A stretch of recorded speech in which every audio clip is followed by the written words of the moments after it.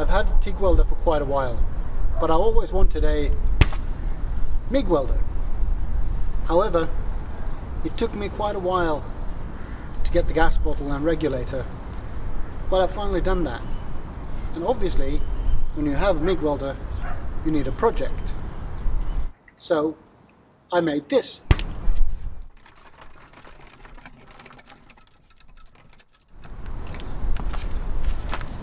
Tire trolley for my second pair of wheels.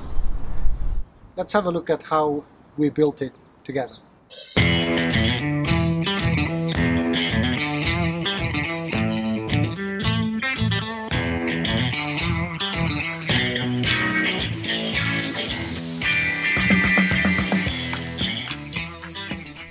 The first thing I wanted the tire trolley to do is obviously to store my tires.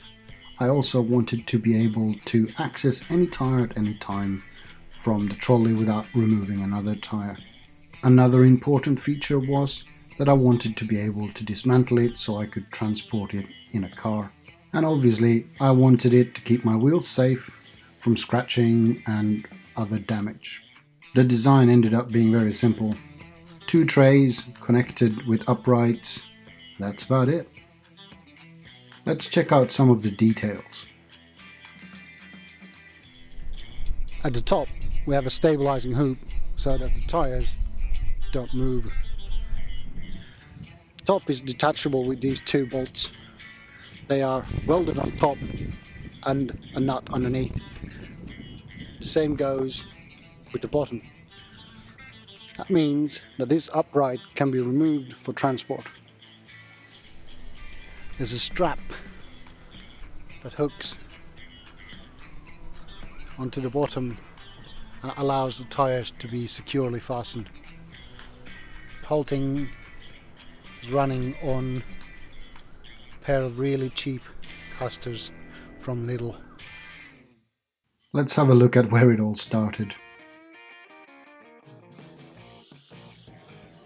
Oh no, this is no way to store your tires. They're in the way, they can get damaged. No good. But let's have a look in the uh, scrap pile and see what we can find. Is there a tire trolley hiding in all of this?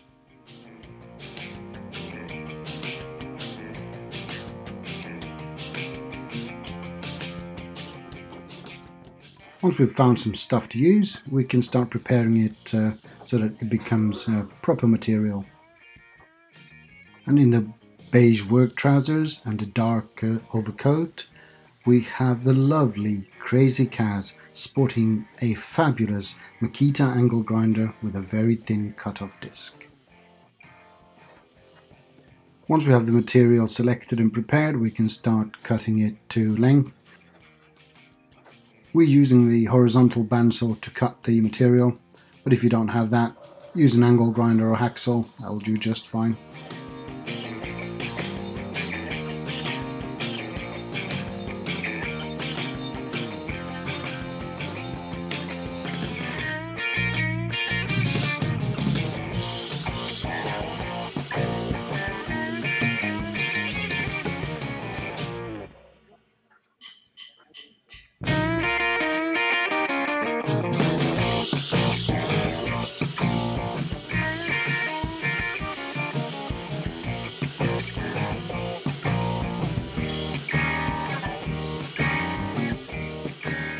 Because we're using scrap these are coated in powder coat paint even chrome.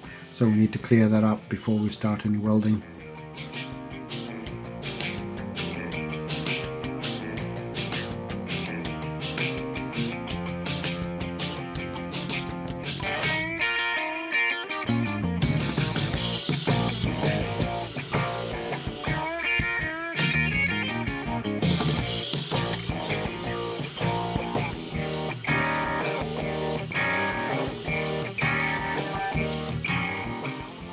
Please note that I did not do this this quickly. This footage is sped up.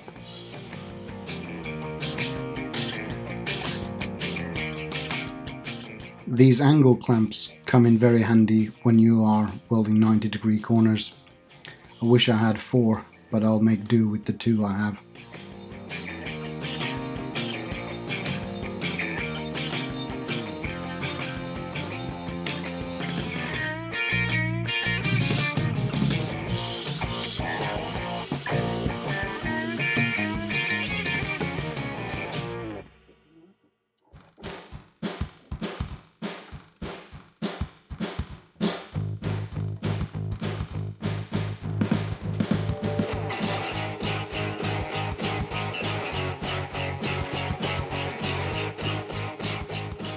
As I said in the beginning, these are my first uh, MIG welds with this new welder and I was quite surprised on how well I got on.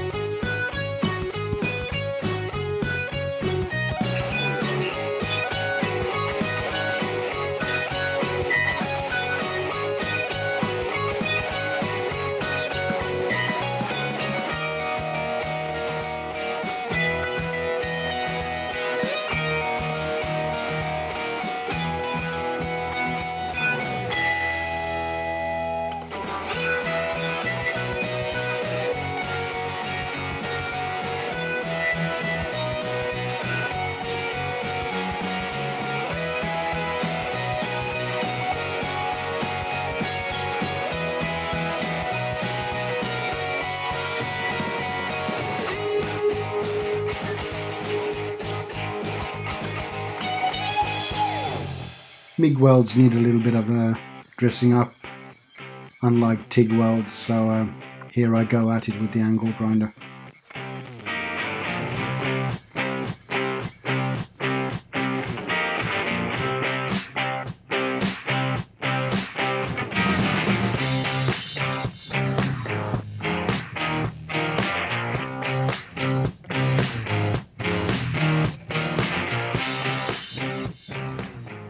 These are the casters we found a Lidl just by accident.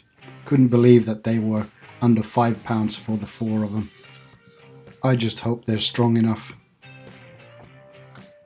The proper way to attach casters is to cut a plate, drill some holes in it and then attach the casters with bolts and nuts. But as this is a garage project, uh, I am just welding the casters onto the uh, frame. The downside with welding is that if a caster breaks, then you have to grind them off. So be a bit sparing with uh, the amount of welds you put on. I learned this tip uh, the hard way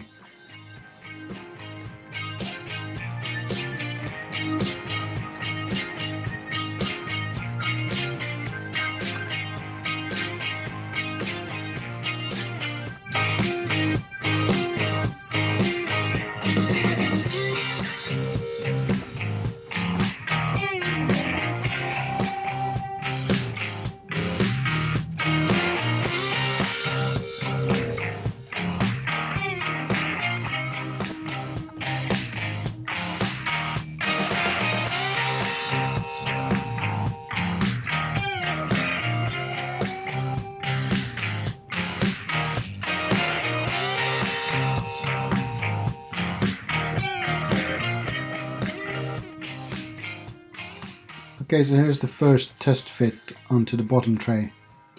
It's pretty good, except for the casters won't swivel. I keep forgetting this. To attach the uprights, I'm using a piece of angle iron and drilling some holes into it and then sticking a few bolts out through the holes, welding the bolts into the holes so that they're there permanently. And that way I can bolt the upright onto the bolts. I need to make four of these.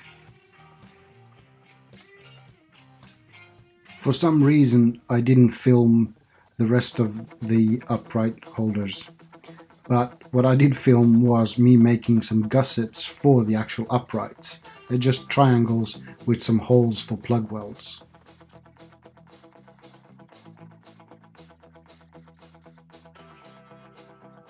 In the scrap pile, I already had these bars with plates welded to the end of them. They were perfect, or almost perfect, for the uprights. So here I am welding the gussets to the top and the bottom, just to give them a little bit extra strength at the welds.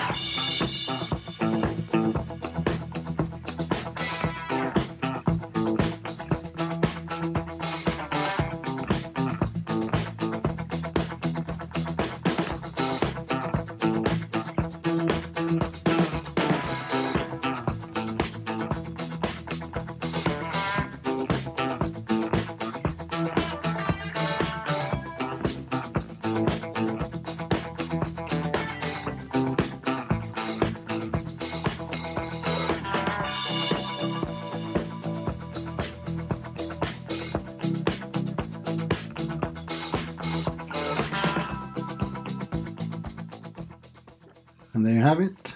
One gusset, three more to go.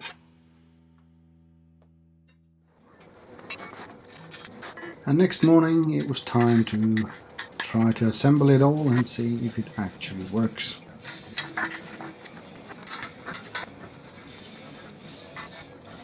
The only tool needed is a 13mm socket or spanner to uh, attach all the uh, nuts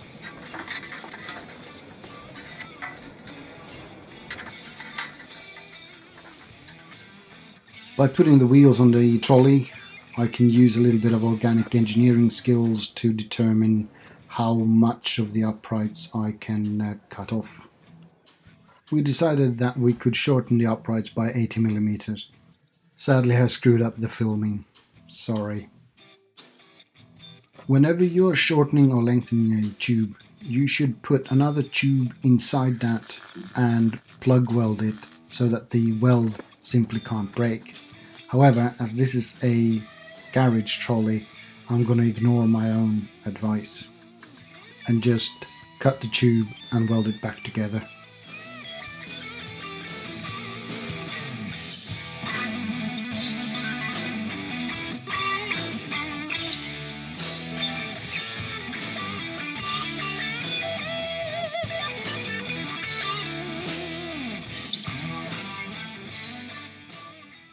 Not the prettiest job, but it'll do for a garage trolley. Time for another test assembly. Height is better and I fixed the swiveling casters by welding on a small box section, you can see that, at the bottom tray to the right. I also realized that it would be good to use some straps to hold the wheels in place, so I want to weld on these tabs. They're just some washers that I put in the vise and bashed so I got a 90 degree angle at the bottom so I could weld that onto the tray.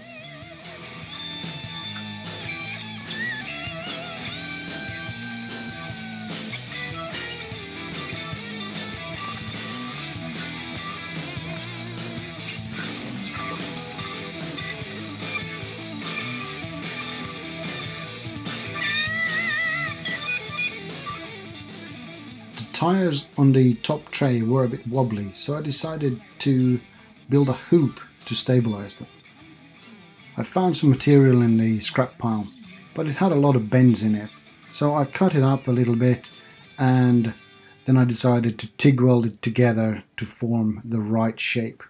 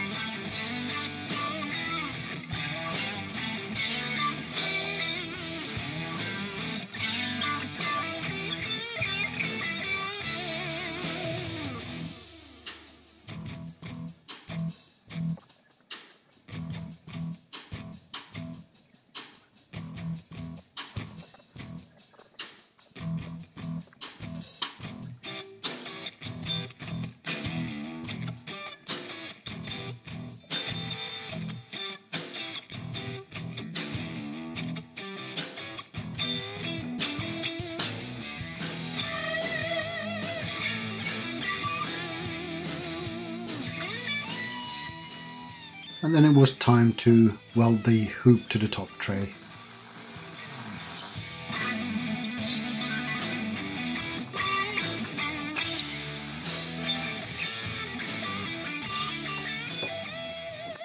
Whilst we're watching the beautiful welds magically appear, I'd like to draw your attention to where I'm actually welding. This is basically a huge cabinet that's mounted to the side of the garage wall. I've made a video about it, uh, have a look if you're curious.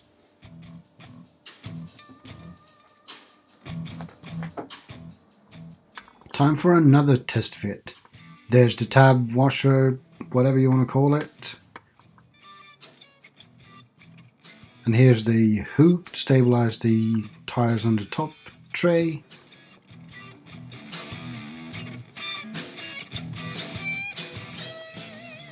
And here's the tire trolley in all her unpainted glory. I think the fabrication is done. Before I can start painting, I need to remove the flaking chrome and rust and other rubbish so that the paint sticks well. A big wire brush and angle grinder is very efficient, but oh so hard work.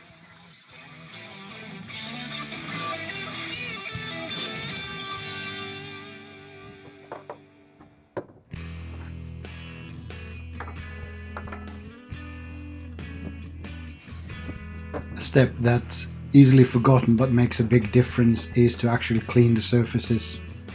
I'm just using some uh, brake cleaner and a rag to get rid of any grease.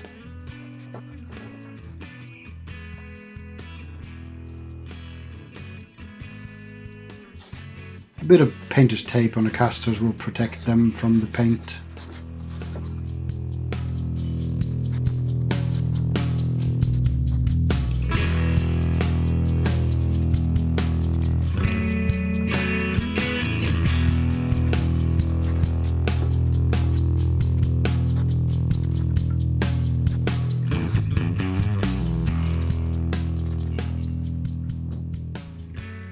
I really wanted to finish this project. So despite the very high winds on that day, I decided I'd give it a go, painting it all. First I'm applying some primer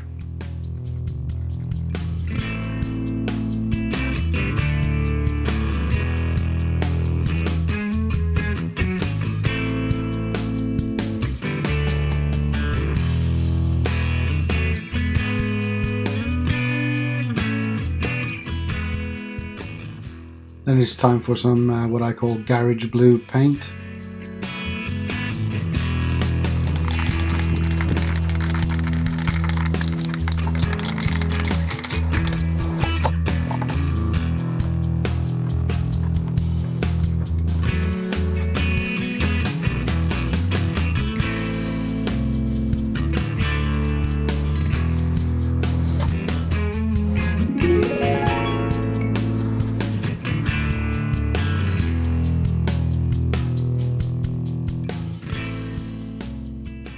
After a day or so of drying, it was time to remove the masking tape, assemble the whole thing, and apply protection.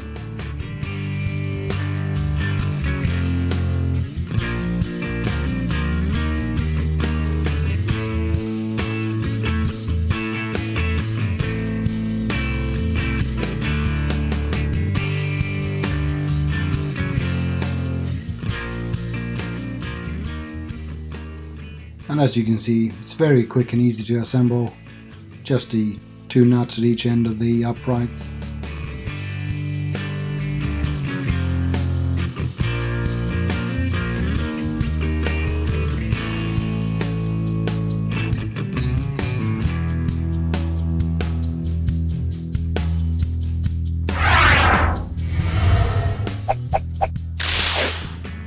I'm using this pipe insulation to protect the wheels and rims from the hard metal.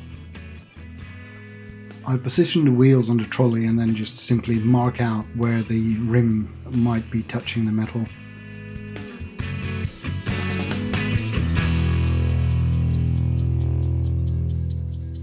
With a sharp knife I cut the insulation to length.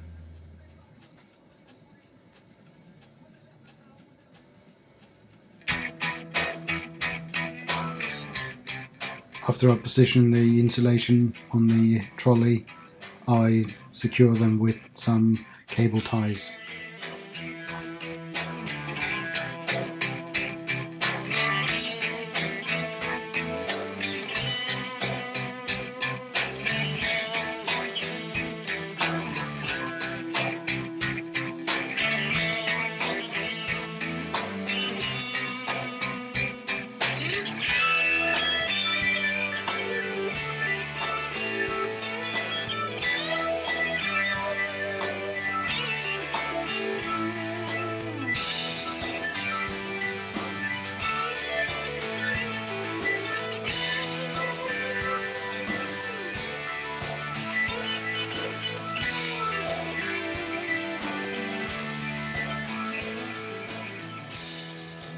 Ran out of pipe insulation and I found these pads of foam. Thought it was a good idea at the time, but uh,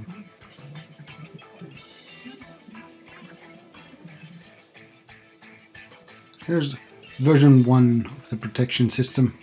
Let's see if it actually works.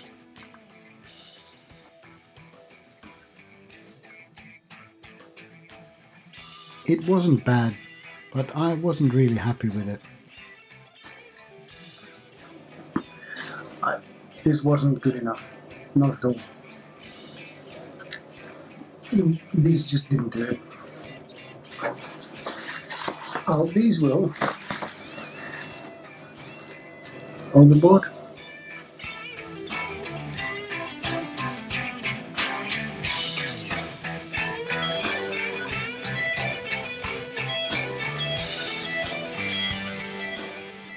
Do it again, but better.